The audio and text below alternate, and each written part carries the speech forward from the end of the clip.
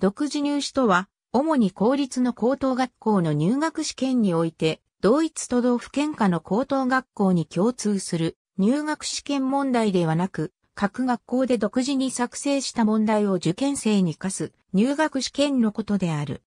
都道府県によっては、自己作成問題と呼ぶ場合もある。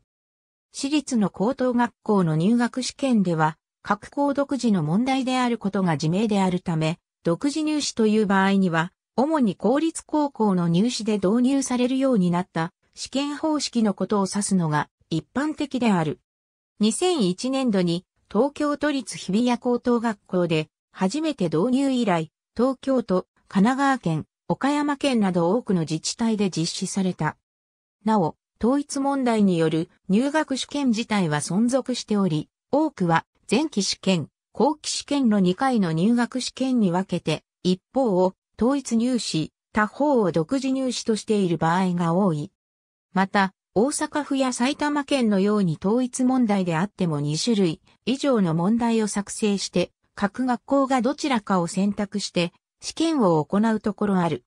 北海道では統一問題のうちの一部のみを難関校向け問題に差し替える学校裁量問題を導入していたが、2022年度より廃止の予定。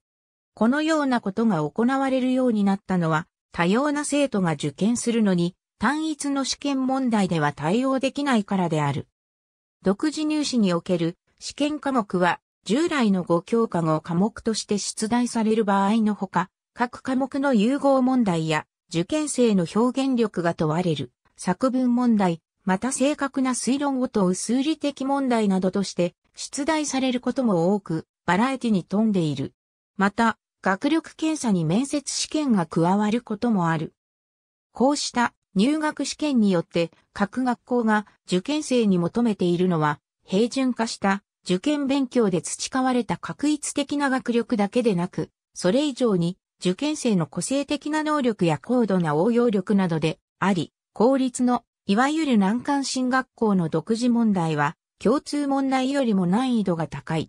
実施校のメリットは共通テストでは見出しにくい受験生の個性的な学力を正確に判断できることである。